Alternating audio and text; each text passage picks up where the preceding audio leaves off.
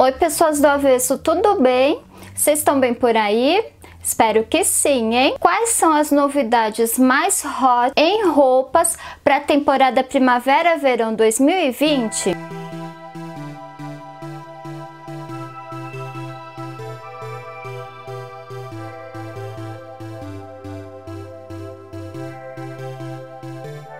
Gente papear a respeito, eu montei esse guia que tá nessa playlist que tá aparecendo aí. No episódio de hoje, vamos falar sobre tops, os tops englobando aí croppeds, blusas e camisas em geral, tá bom? Peças consagradas já algumas temporadas, como os tops cropped, os tops com decote bardot, as regatas, os tops ao estilo bustier e os open shoulder, a gente continua tendo sim. O destaque da vez vai para o top do tipo ciganinha, que já vem de outras temporadas, mas que para essa temporada a principal novidade é que ele chega com mangas bufantes. Outros itens que a gente pode destacar por aqui são as camisas cropped, principalmente aquelas com amarração na cintura e por vezes com bolsos assim na altura do peito, sendo lisas ou estampadas. Assim como tops de gola alta. Esses tops podem aparecer como blusinhas normais ou até como bares. Outra peça em gola alta que apareceu bastante são as blusas feitas em tule, principalmente usando um tule estampado. Mas como nossos dias são calorentos, teremos variações sem essa gola, em manga curta e até regatas. Essa blusa transparente pode ser usada para valorizar a lingerie ou até com sobreposições. Outra novidade são os tops estruturados, aparecendo em comprimentos variados, assim como em materiais mais estruturados, mais firmes, como linho, alfaiataria, entre outros. Blusas com amarrações, sendo a maioria com pegada bem casual assim como blusas com amarrações do tipo envelope, ou seja, transpassadas, são também uma forte tendência para a temporada. Camisetas. Sem dúvida, as estampas localizadas são o foco das camisetas. E apesar de que vai ter um vídeo aqui exclusivo sobre estampas, vale destacar alguns temas por aqui retrô.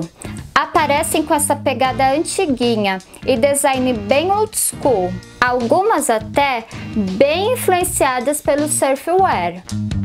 Universo pop, fazendo referência a temas da cultura pop em geral. Lettering, ou seja, as frasezinhas continuam em evidência. Aparece também um pouquinho de camisetas com estampa de estátuas e imagem sacra. Tropical. A pegada tropical continua em alta. Então, além de exaltar a fauna e a flora, a evidência agora vai para as frutas, principalmente o abacaxi. Muito e muito abacaxi. Outro tema que aparece também no tropical e bastante são estampas de palmeiras. Agora, um modelo que tinha assim, digamos, cansado algumas temporadas, volta agora com bastante evidência, que é o kimono, principalmente o kimono ajustado na cintura, usando a faixa ou um cinto.